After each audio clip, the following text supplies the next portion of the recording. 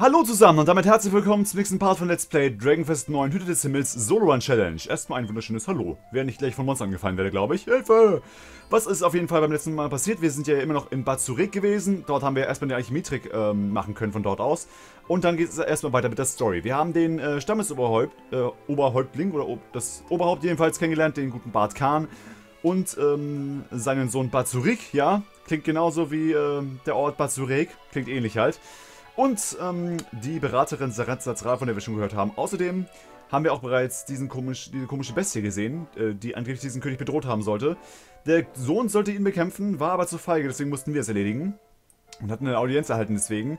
Und wir sollen jetzt zusammen mit seinem Sohn, also dem vom, äh, vom Oberhaupt, diese Bestie besiegen. Allerdings hält sich ähm, unser Freund irgendwie merkwürdig. Und zwar nicht, nicht wirklich feige, sondern irgendwie doch eigenartig. Wir müssen noch herausfinden, woran das liegt. Auf jeden Fall mussten wir erstmal folgen, bis hierhin, denn er ist hierhin äh, gegangen. Und hier ist auch die Bestie. Ein solches Vorgehen könnte zwar in einer Niederlage für Saranzal enden, aber auch dein Tod wäre eine sichere Sache. Wenn du tot bist, wird meine Mutter sehr traurig sein. Du darfst dein Leben nicht wie ein, ein angefressener Knochen wegwerfen. Du musst hier bleiben und das Grab meiner geliebten Mutter behüten. Verstehst du das, Kronbisch?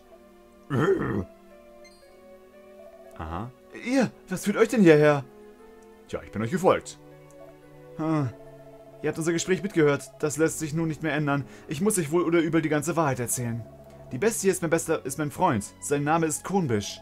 Vor vielen, vor vielen Jahren haben meine Mutter und ich ihn verletzt aufgefunden und halfen ihm. Seitdem sind wir Freunde. Kronbisch hatte es im Dorf nicht auf meinen Vater abgesehen, sondern auf Saranzats Ral. Aha. Sie täuscht unser Volk mit ihren Tricksereien und führt nichts Gutes im Schilde. Ich tat so, als sei ich dumm und feige, damit sie keinen Verdacht schöpft, aber mir fällt keine List ein, um sie zu verjagen. Ah, damit haben wir auch die Wahrheit darüber herausgefunden. Das ist die ganze Wahrheit. Bitte, ihr müsst sie vor aller Ohren verschweigen. Und jetzt muss ich zu den Joten zurück. Lebt wohl. Ah, aber das macht zumindest jetzt wieder Sinn. Also sein Verhalten natürlich. Und das zu deiner toten Mutter.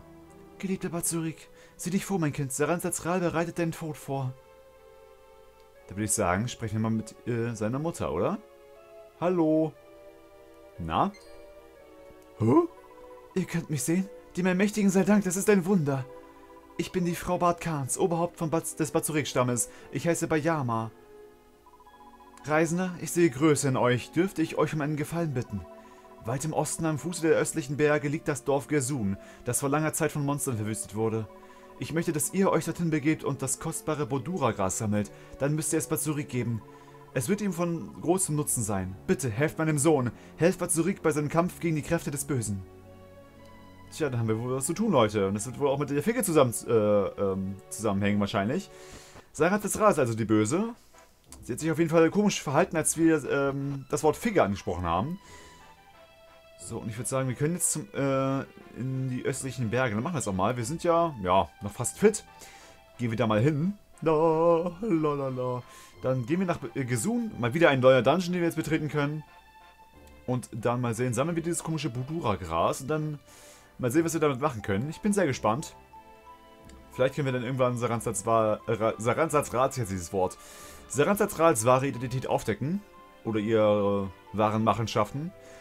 Man weiß es nicht. Wir gehen jetzt erstmal dahin. So.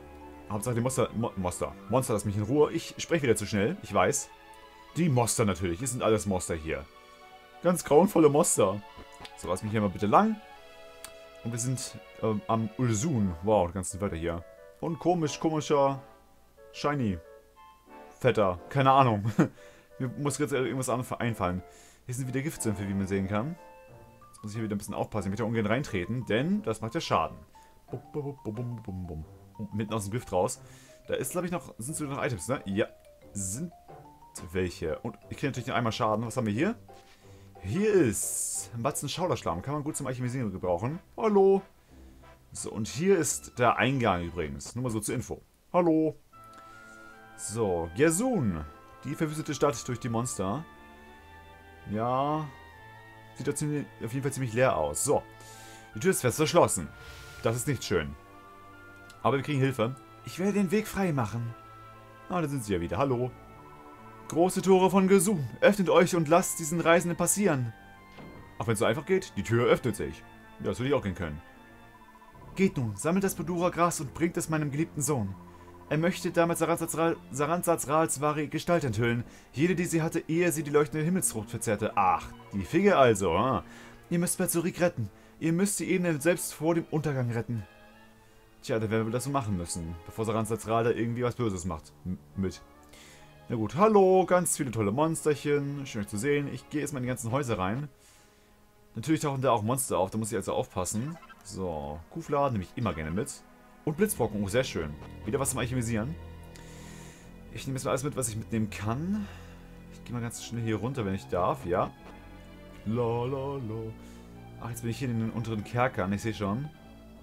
Gersumo 1. Ist da noch was gewesen? Oh, jetzt tauchen diese Trolle auf. Oh, guck, guck dir diese Viecher mal an da. Ja, ziemlich große Monster. Die tauchen nur hier unten auf, glaube ich, ne? Hier gibt es auch noch Truhen. So, hier haben wir einmal einen Aussichtering. Oh, falls sie besoffen sind, sehr schön. Und Hilfe ist das Flamme. Und Ritter, natürlich. Wir zum Alchemisieren. Und Aussichtering braucht man, glaube ich, auch zum Alchemisieren. Kann man das sonst auch tragen. Die Höllenrüstung.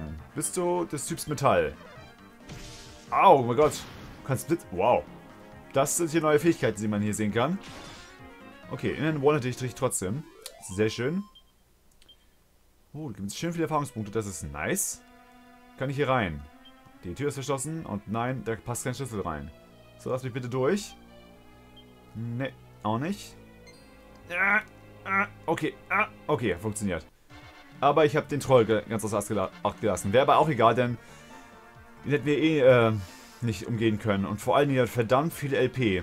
Sage ich jetzt, jetzt schon mal. So, Heilungssieb erstmal die Zauberer äh, hier besiegen. Ganz wichtig. Oh oh. Nicht die magische Macht erhöhen, vor allem stark, stark gestiegen. Der Troll greift an. Okay, er war zu dumm. Okay, bei sowas muss er aufpassen. Entweder sie treffen nicht oder er macht einen kritisch, äh, kritischen Schlag. Genau, Critical Hit, wollte ich sagen. Damit muss ich auf jeden Fall aufpassen. Es kommt Krach. Das ist nicht gut. Das ist gar nicht gut. Du warst der, der seine magische Macht äh, gesteigert hatte. Das war ein ganz normaler Angriff. Macht 25 Schaden. Das ist eine Menge. So, ich bleibe mal mit Heilungssieb. So. Ja. Ganz normaler Angriff. Jetzt muss ich echt aufpassen. Kriegt selber Schaden manchmal. Sehr schön. Bam. 173. Das ist eine Menge. Sehr gut. So, ich mach weiter. Und, okay, war wieder nochmal Angriff. Das hat gerade kurz geleckt irgendwie, kann das sein? Naja, lag wahrscheinlich in der Epicness dieses Kampfes hier. Die hauen aber verdammt rein, Leute. Au! Mitten auf meinen Kopf. Stirb, du komisches Viech. Ja, geht auch. Ich sehe, wie viel LP die haben, ne? Nur mal so zur Info. Aber die geben auch verdammt viel Erfahrungspunkte, sehe ich gerade. Stufe 31. Nice. Und ja, keine weiteren Talentpunkte, nur die alten, die ich bisher schon hatte. 312 Goldmünzen und eine Eichno oh, Eichholzklippe. Das ist wohl der vom Troll, ich sehe schon. Es steht ja noch spät, äh, später noch stärkere Trolle, nur mal so zur Info. Das wird doch witzig, Leute. Ja, ja. Wo gehe ich jetzt lang? Ich gehe jetzt mal hier lang.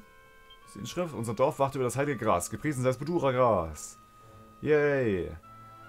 So, hier ist nichts mehr. Und da taucht ein Zombie auf, natürlich. Der letzte Frame reicht noch, um, äh, damit ich dich noch angreife quasi. Kohle tauchen auf. Wir sind schneller. Aber ich kann die Angriffe zumindest blocken. Nice. Das Ganze bitte nochmal. Das wäre nett. Nee, aber machen nur 4 Schaden. Damit kann ich definitiv leben. Und One-Hitten kann ich euch oben dreien. Ja, die Trolle sind verdammt gefährlich. Die tauchen aber wie gesagt nur in diesen Kerkern auf. Also brauche ich hier oben äh, keine Angst vor denen zu haben. Und die überleben doch noch einen Angriff. Okay. Und die rufen Unterstützung. Nice. Oh mein Gott. Okay. Du bist besiegt. Das ist ja nicht so schön. Bitte ruf keine Verstärkung. Das wäre sonst ziemlich blöd. So, sei bitte One-Hit. Natürlich nicht.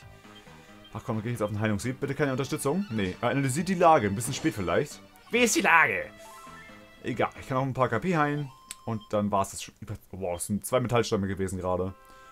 Uiuiui, okay. Was haben wir hier sonst? Noch ein paar Schränke. Vielleicht ist hier noch was drin. So, hier nicht. Und hier auch nicht. Hat es nicht gelohnt. Da ist ein Monster erschienen. Gehe ich ihm hier lang. Na gut. Was haben wir jetzt hier noch so? Keplis Inschrift. Das Budurgras wächst inmitten des Wassers, das in den Tiefen fließt unter dem Gras. Äh, Dorf. Gepriesen das Budura-Gras. Schön, dass sie so viele Sachen hier äh, stehen ha haben. Darüber. So, ein bisschen Mixtur. Da oben werden wir gar nicht lang gekommen. Ich weiß, dass da ein Monster war. Da darf ich jetzt auch gerade rein, aber da hat wir eh nicht vorbeigekommen. Mal wieder sind sie zu zweit. Und das zum Thema, sie sind zu dritt. Okay.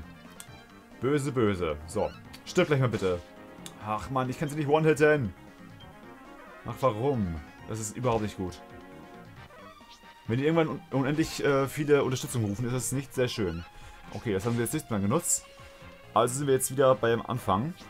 Und er greift an. Und was machst du? Du greifst auch an. Sehr schön. Dann sind er gleich auf jeden Fall um einen dezimiert. Aber ich kriege nicht mehr gewonnen. Das war eben anders. Okay, Brie greift an.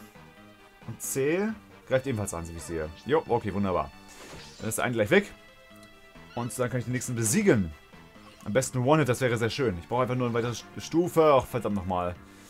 Das könnte sich, so, könnte jetzt noch eine Weile ziehen, glaube ich. Bam. Das sind sogar 46, die beleben es trotzdem. Die analysiert die Lage.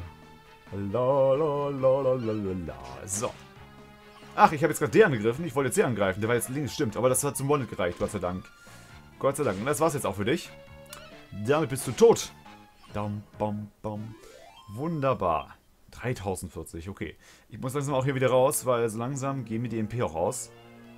Ich probiere jetzt zumindest noch ein bisschen was. Mal sehen, wie weit ich noch komme. Kann ich hier vorbei? Ich komme vorbei. Wunderbar. So, hier sind wir noch unten in den Brunnen. Was haben wir hier noch? Wahrscheinlich Monster, nehme ich mal an. Aber auch eine Truhe. Und ein Schrank. Warum immer ein Schrank hier steht, plus ein Bett? Was ist das denn? Okay, Lesionär, glaube ich, oder wie er auch immer hieß. Tauchen sogar zwei auf. Ich resette mal den Raum kurz. Sind ja keine Monster mehr. So. Das öffne ich zuerst, das ist nichts. War sie ebenfalls. So, und du lässt mich bitte vorbei. Dankeschön. Genau so war es gedacht. Bum, bum, bum. So, es kann weitergehen. Was haben wir hier noch Schönes? Eine Truhe, sogar eine rote. Nice. Und das ist... Ich die Medaille. Nehme ich gerne mit. Dann müssen wir wohl bald wieder nach Wellcam, um zu sehen, ob wir dann irgendwann den Universalschlüssel bekommen. Das wäre so gut. So gut. Dann gehen wir hier mal weiter. Ich resette mal ganz kurz wieder. So, und... Oh, das sind ganz viele Geister gewesen. Geister! So, schauen wir mal. Hier gibt es ganz, ganz viele Truhen. Sammeln wir noch alle ein. Oh, goldener Gebetskranz. Nice.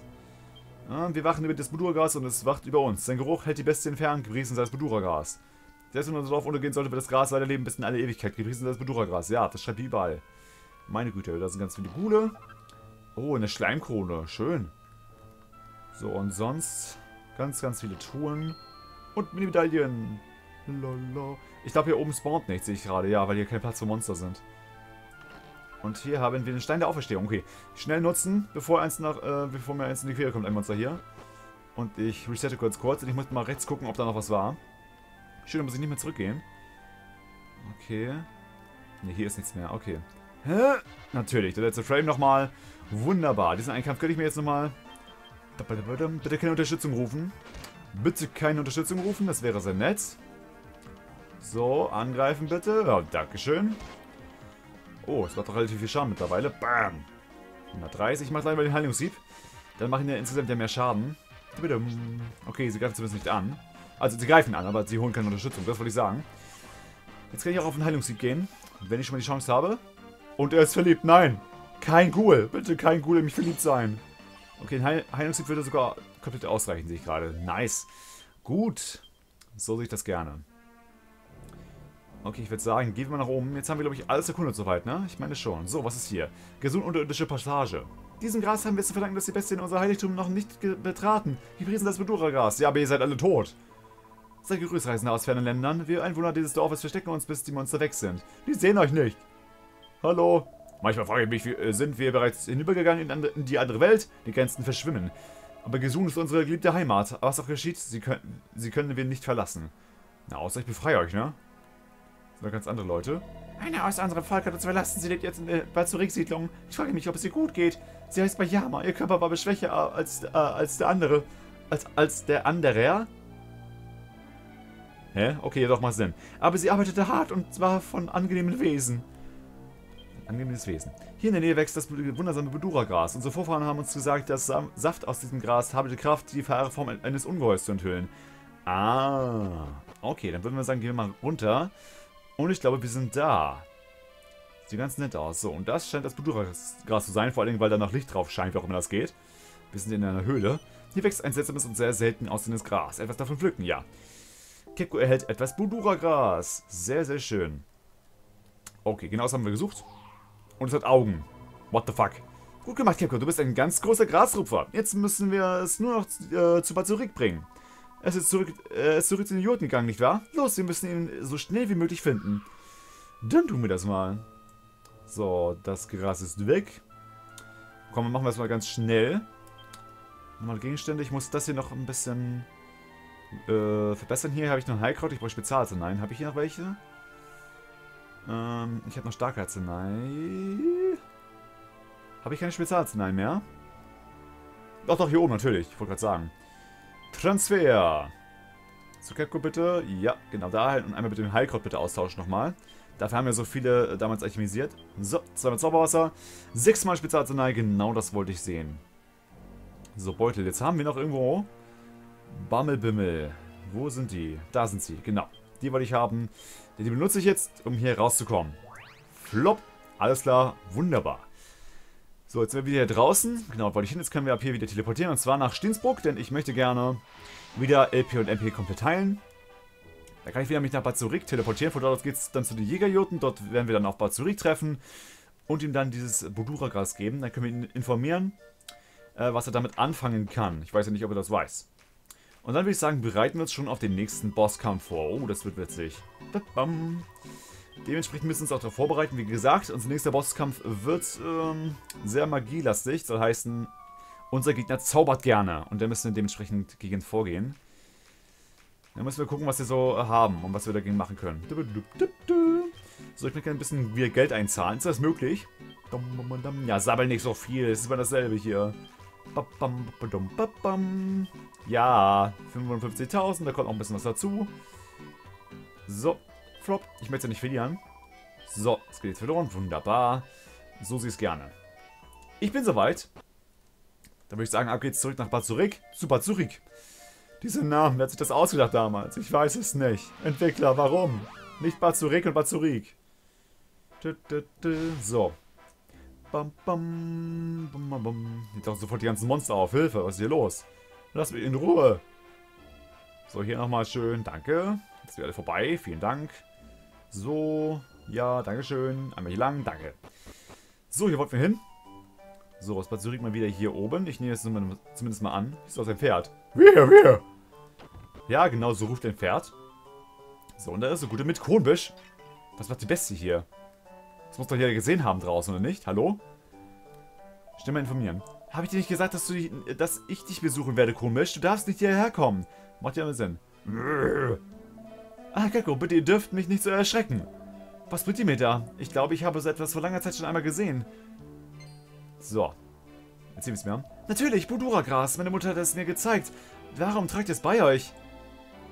Tja, ihr, ihr sagt, ihr seid dem Geist meiner Mutter begegnet? Was? Ich bin zwar ein einfacher Mann der Ebene, aber nicht so abergläubisch, dass ich so etwas für, für möglich halten würde. Ach so, okay. Kunbisch, du bist weißer wie eh und je. Kekko hat uns auch geglaubt. Nun müsst ihr ihm auch glaub ihm Glauben schenken. Alles klar. Dann mal los. Also sprach meine Mutter davon, dieses Buduragas zu nutzen, um Sarazatsrats wahre Gestalt zu enthüllen. Tja, sobald wir das Monster mit einem Aufguss des Budur aus Buduragas spritzen, fällt seine Maske und sein wahres Gesicht zeigt sich. Und das wird den Leuten von da zurück die Augen öffnen. So können wir unsere Ebenen geschützen. Wollt ihr mir das Gras geben? Ja, aber nicht rauchen, bitte. Dankeschön. Kepko gibt das Buduragas. Ich danke euch, Kepko. Es war eine weise Entscheidung, euch die Wahrheit zu erzählen, wie mir scheint. Jetzt müssen wir das Gras nur noch zermalmen und den Budura-Aufguss daraus gewinnen. Ja, Kumbisch, Nachbar zurück. Ich werde zuerst die, die, diejenigen ablenken, die sich draußen befinden. Dann kommst du nach. So sei es. Na dann, legen wir los, ne? Bin gespannt, wie er es macht.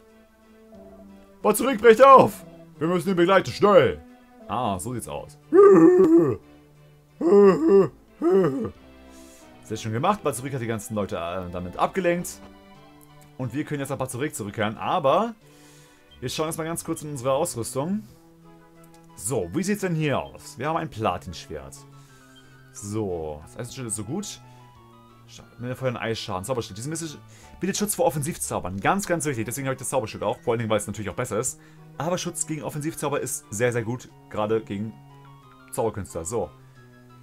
Das bringt, der, bringt uns nichts. Das auch nicht. So, hier. Das ist gar nicht mal so schlecht. Wir haben hier die Stachel... Also, komm, wir haben die Stachelrüstung von Verteidigung von 214. Die halt den Schaden direkt reflektiert. Also physischen Schaden natürlich. Die macht aber keinen Sinn, weil ähm, unser Gegner eh nicht physisch angreifen wird.